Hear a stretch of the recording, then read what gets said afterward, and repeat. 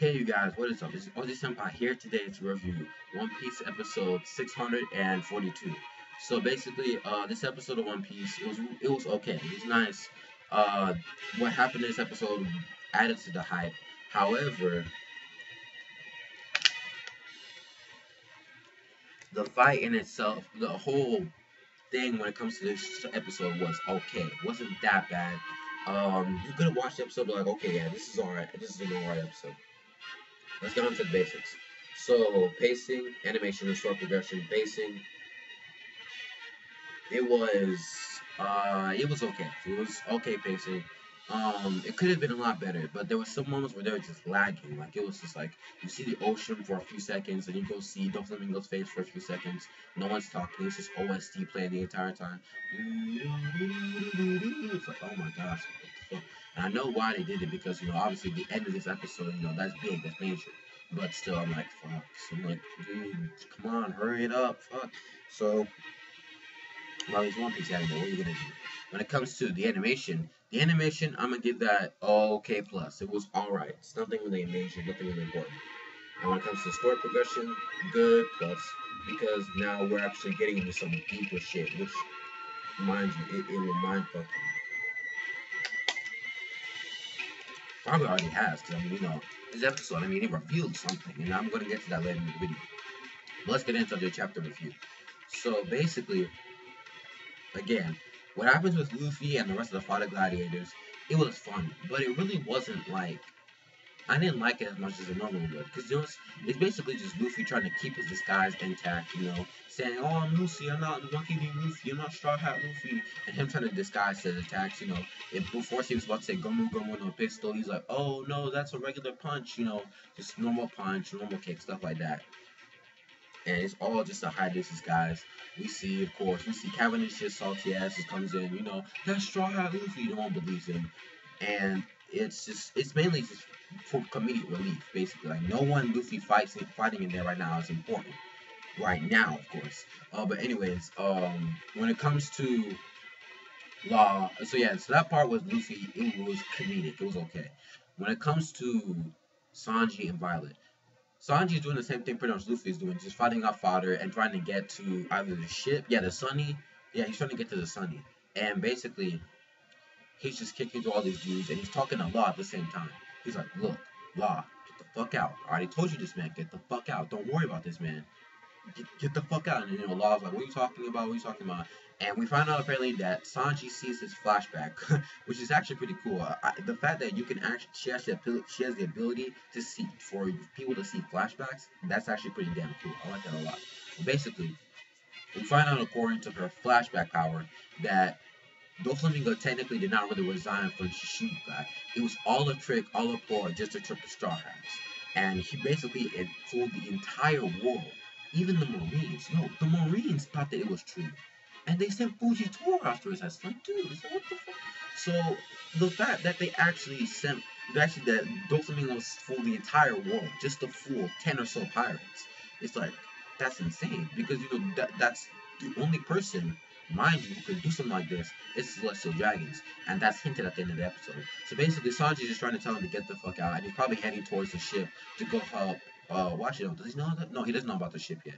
But uh, he basically he's just trying to get out of Dressrosa. He's trying to get well not to get out of Dressrosa, but just trying to get out of Doflamingo's subordinates way.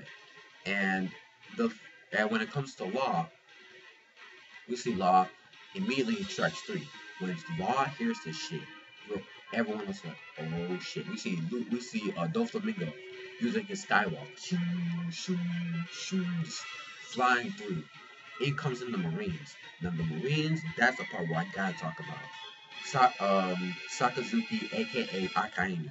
This dude is pissed. You can see from his Denden Mushi, because Denden Mushi can reveal the emotions of the peak speaker on the phone he looks pissed. Now, normally, he always was pissed. But this time, it's a serious amount of pissed. To the point where he says, yo, we weren't informed about this. No one told us about this plan. I need to go talk to the Gorosei. That's what I need to talk to. I need to talk about the Gorosei. They need to talk to those niggas. And, of course, the Gorosei, them being the head of the world government, technically, they need to be talked to. So, uh, because, you know, Akainu's like, what the fuck is going on? Because, you know, he fooled the entire Marine headquarters. He fooled, um, he, like, he basically tricked the entire Marine, uh, Marine force. And it was like, dude, it's like, who, who has this type of power? Even if he's a Shichibukai, a pirate, and well, a pirate, uh, a wealthy pirate, a Shichibukai, and a and a king, who has this type of power? So it's like, dude, it's like that's insane. So when it comes to the whole thing with Law, yeah, Law is fucked pretty much because that means that because uh, Doflamingo is still a Shichibukai, that also means that Law is fucked bad. Because normally, okay, even though law was fucked from the beginning because Fujitora coming over the Green Bit, that's just that's just one admiral. Law probably wouldn't win, but it's only one admiral. I mean, Law can hold him off, and then Law can try and escape. So you know, there's no there's no winning, but at least Law can hold one admiral off, just for, even for just a little while. But now Doflamingo is on his ass. Doflamingo and Fujitora are all on on Law, because you know they're technically on the same side again. So it's bad on Law's part. We see Robin's um tongue come out the ground. Apparently, yeah, we already know they're underground. They can't come and help out Law right now. But basically, they're, they're, gonna try and um escape via their own way, and Law's gonna head out the other way. Now, what the fuck is that? So, listen, alright. Doflamingo, obviously, is one crazy ass motherfucker.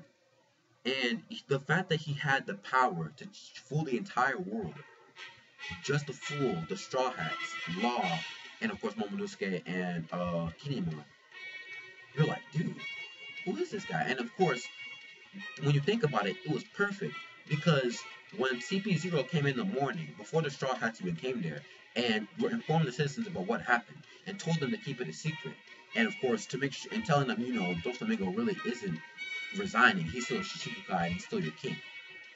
He made sure that the addition to the newspaper was made the exact moment that Doflamingo came up on Bloomberg. Three o'clock.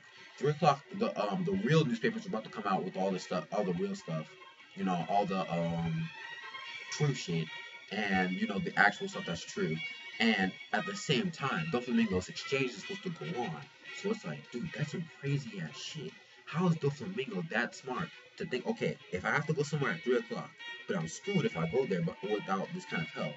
I need to formulate a plan. And he did that shit. And you're like, dude, Doflamingo is the smartest motherfucker on I've ever fucking seen.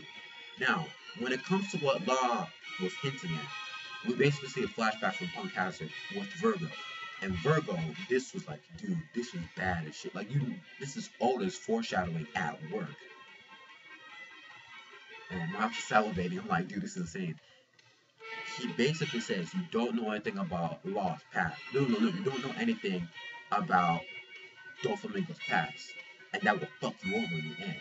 And you're like, dude, he's totally correct. Because now, not only does Law have to fight against an admiral, he has to fight against an admiral and Doflamingo, who we can consider might actually be a near admiral level. So I'm like, bro, that's insane. So it's like, he, Law is pretty much fucked. Unless he can find a way to escape by some shape or means, oh man, it, it it's gonna go down. Ne- I'm telling you, man, it has to go down next episode. I don't want to just skip. I don't. Uh, I can't remember exactly, but I'm pretty sure it doesn't skip after this. Like I'm pretty sure that we will see what happens with Doflamingo, Fujitora, and Trafalgar Law. A three, like it's not even a three-way. It's a two-on-one attack, and that's gonna be crazy because the Marines are there, Doflamingo's there. It's like, fuck, man. Like, you, lost. You better get the fuck out. Like, and basically, so we see that, and obviously the law is hinting, okay, because he, you did all this, are you some kind of celestial dragon? Are you some kind of world noble? And the Dustin was like, uh, you know, it's kind of, it's kind of complicated. You know, it's kind, it's kind of complicated. But he didn't say yes or no. So whether or not it's true, we don't know for sure but you can assume maybe yes because think about it the celestial dragons themselves are the only other people who can do that shit because of their bloodline them being the descendants of the people who created the world government in the first place. So for that to happen it's like damn so it's like we, we don't know for sure. And plus when he says it's complicated it's probably going to be like a huge backstory. You know it's obviously going to be really complicated. We know that for a fact But uh, but that's where the chapter ends. The the episode, I'm sorry, ends off, and then we see Doflamingo say, "Look, there's only one thing on my mind right now, and it's to kill Hyuga." And one more thing before I end the um, review, I like how Doflamingo talks about how to manipulate people because he preys on the fact that people would say something so ridiculous or something so crazy and he preys on that and he actually took that to his advantage. And i think that's important because when you take a look at it um when you take a look at villains of any series they need to just be more than just strong. They need to be cunning. They need to be smart. They need to think on the same level if not higher than the same level as the protagonist. So if a villain thinks that same way you can tell that he's a really good villain. And the fact that Doflamingo is extremely powerful, at least from what we've seen so far, he's a really good villain, at least so far. And when it comes to him versus Crocodile, I mean, you guys pick who's better. I don't really care. But what I do care about, I don't really know who it is. So I thought that was really good. So I'm gonna give this episode a rating of good. It was a good episode of One Piece. You know, the whole hints and stuff. It made it a good episode. Uh, the fodder fighting I didn't really like that much, but it's whatever. So uh, yeah, uh, like the video if you like it. Dislike it if you don't rate, comment, and subscribe, and I'll see you guys later. I want you Senpai, and I'm out. Peace, guys.